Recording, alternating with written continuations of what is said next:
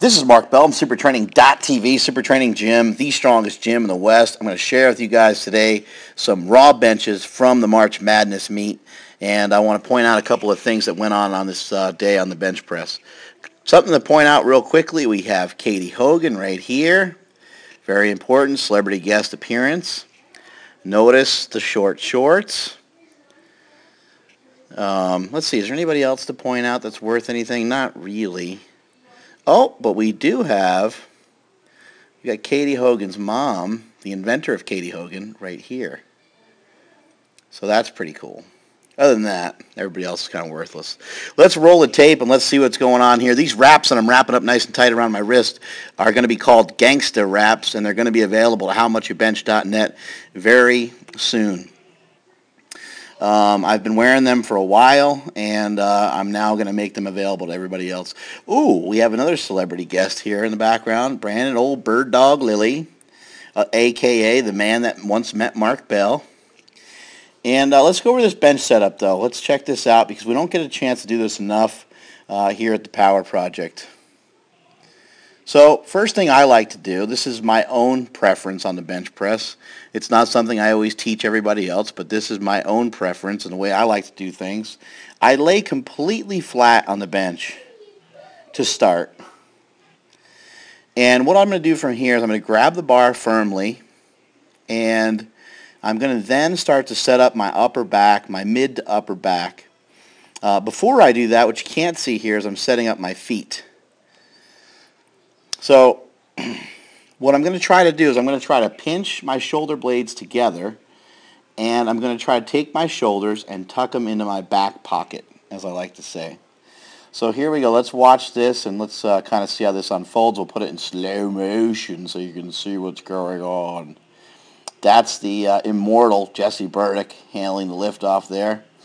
And see how I shoved my, my sh shoulders down towards my butt the key on that is to not move your lower body a whole lot and leave your feet locked in. So feet are locked in and my lower body's not going to move a ton. I mean, the hips are going to move, um, but I'm really trying to move here and get a little bit of a archeroo, which I don't do a very good job of, but I do my best. Everybody's a little different on that.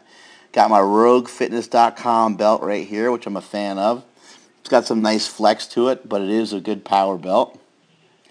So driving those shoulder blades under and down. I probably could have done a better job of that, of uh, just pulling them together a little sharper.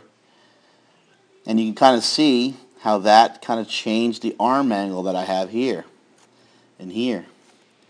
What it did was uh, my arm before was kind of more starting out about here and uh, had an elongated arm and now I shortened my arm to the best of my ability. I got kind of long arms. Got kind of a long stroke. So here I'm wiggling myself into position.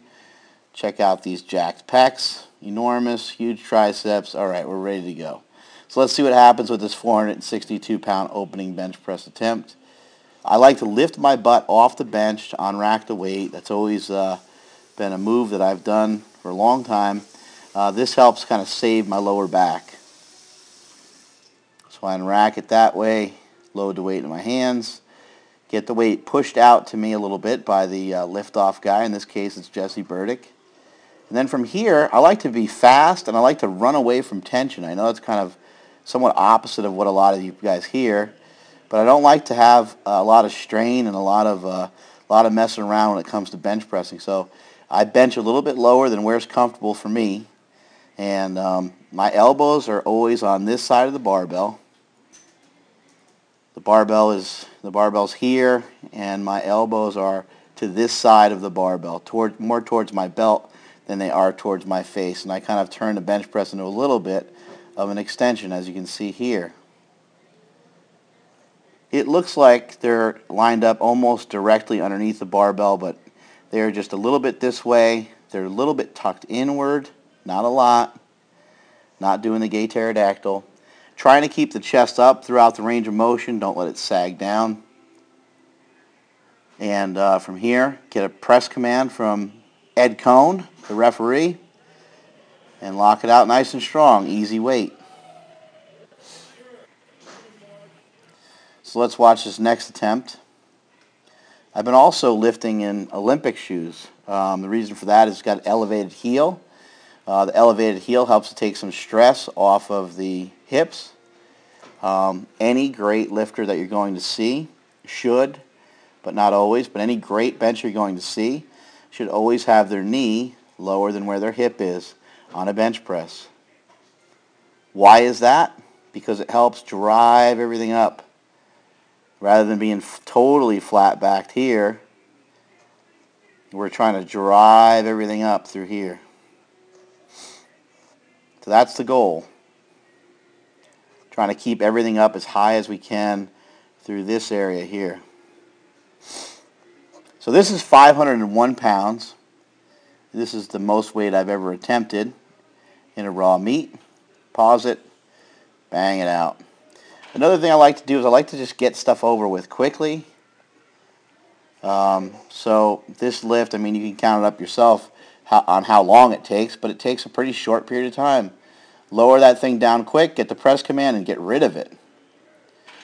There's a couple things I need to do to work on, but uh, I, to, to work on incre increasing that so it's a much bigger lift next time out. I'm going to compete May 19th at Super Training Gym, and the plan is to do around a 540 bench press, and I got to work on my lockout, but I kid you not, I know I'm the inventor of the slingshot, but that's pretty much predominantly all I use in my bench training. I don't do a lot of raw work uh, due to uh, having many injuries over the years. I pretty much utilize the slingshot every chance I get. I do push my raw work as far as I can go for a particular day, and then I add on the slanger slanger. So here we go. I'm going with a bench press. Didn't have any shirts that fit, but was trying to, to knock my buddy Juan off of our uh, ST record board. This is kind of more for fun than anything else, but this is 699 pounds.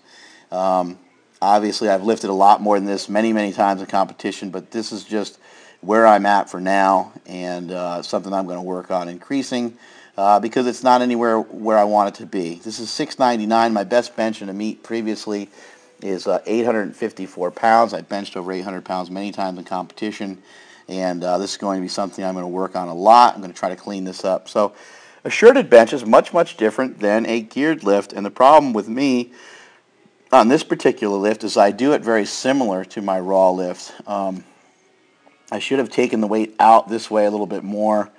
That way it'd be lined up around here a little bit more. Um, and there's just some flaws where I kind of I kind of have my elbows this way a little bit too much.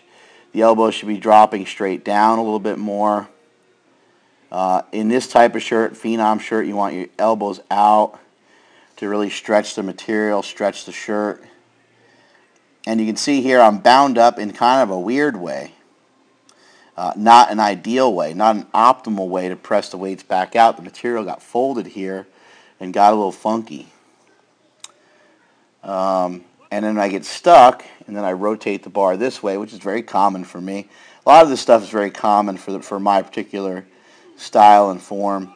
Also keep in mind, you know, I am down to 242 pounds now, and, and so the range of motion has increased quite a bit. But in my opinion here, this elbow should be just out just a little bit. This elbow should be out just a little bit.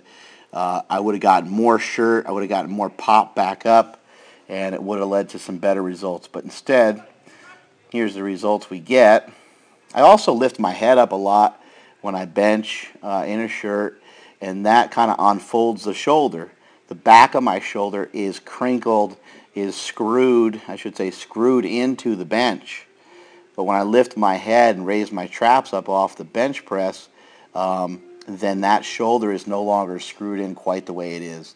There's also some unevenness and, and uh, balance, um, uh, imbalance here. The right side is not as strong as the left side, and it's not as big. You actually see I, the left side's finished. Look at that the left side is completely done. I've also done this with 887 up at Jesse Burdick's gym, and it still chaps my ass that I never finished that lift.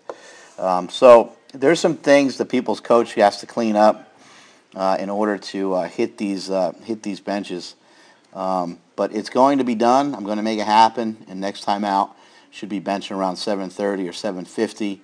Uh, the arm sleeves of this shirt do need to be taken in, but I also I need to pay attention more to my technique, and I also need to work on strengthening a few different things. Uh, one thing I'm going to work on is a lot of back strength and also a lot of board strength, raw board work, and then also on top of that, just more shirted work uh, with better form. So hopefully those tips help you guys out in your efforts to bench more weight, and that is it from supertraining.tv.